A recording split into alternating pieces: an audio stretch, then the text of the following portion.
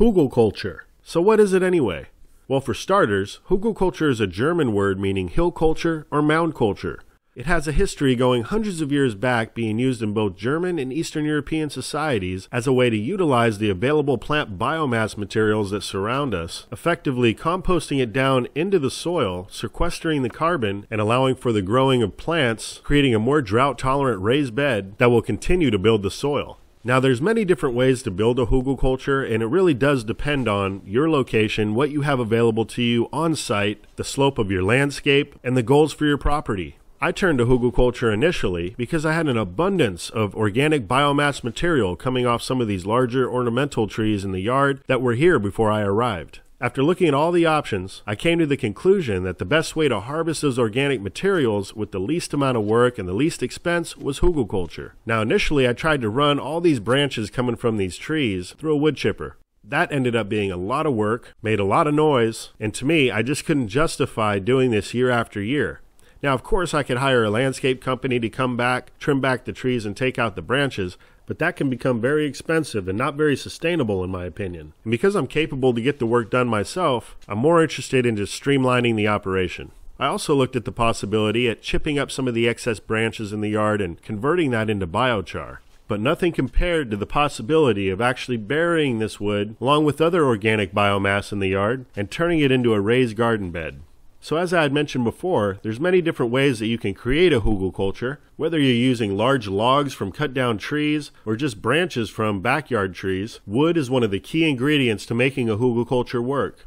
Now it's best to add older wood into your hugelkultur that's had a time to decompose and break down. Usually between a year and three years is best. You can also throw fresh wood into a mound, but fresh wood mixed in with the soil will initially tie up nitrogen. It's important to note, however, that that nitrogen will then be re-released into a mound after a period of time when it begins to decompose. So if you're looking to plant edible crops and such in your mounds immediately, you want to try to use older wood up front.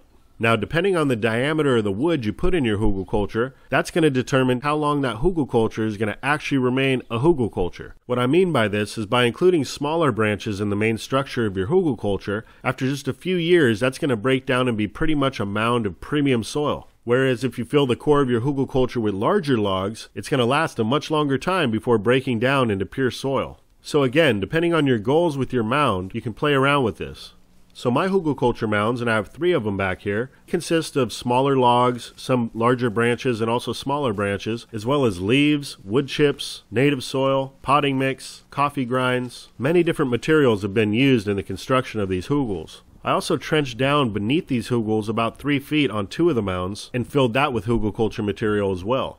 So in my experience, each year the hugelkulturs reduce in size by about two and a half feet. So basically, if I wasn't constantly adding to these hugelkulturs rebuilding them, they would quickly reduce to a smaller mound predominantly made of soil. This actually works out very well for me because I'm able to add to these mounds each year as I do pruning on some of the trees around here. As I'm adding on to the hugelkultur each year, I'm using mostly smaller branches and I'm mostly lining the perimeter of each bed, leaving the center of the mound mostly composed of soil. And then I top those smaller branches with soil throughout the winter, allowing the rains to soak into the mound, helping to spread that soil into the crevices of the sticks, and then I'll give them a nice good covering of wood chips, creating a nice skin on the surface.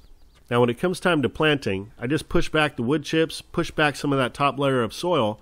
I may even add in some more soil in that spot, equivalent to maybe like a five gallon pot's worth. then I'll plant right into there. This has shown me great results, and like I had mentioned, as the mound breaks down over time, it just gets better and better. Now, in the first two to three years, depending on where you're at, you may have to add a little bit of water to the mound throughout the summer if you got plants growing on it, which is just fine. What ends up happening is as the mound breaks down, all the different biomass that made up the hugel is now composting down and marrying together and becoming like a sponge, which helps add to even more water retention capabilities in the mound. So is it drought proof? No. Is it drought tolerant? Perhaps. There's a lot of factors to consider, and a lot of it has to do with how you construct the mound. Is it in full sun or part shade? Is it primarily made up of wood, or is there plenty of soil mixed in? Did you build it on contour of the landscape with a swale on the side of it? All these different factors are something to consider that will contribute to your results. For backyard gardeners with an abundance of biomass available on site, I find hugelkulturs to be a great way to create a natural looking raised bed. And I just want to thank you all for tuning in today, and as always, I hope this video finds you and finds you well, out in the world and out in your garden, planting more abundance in your life. Take care, everybody. I'll be talking to you again soon.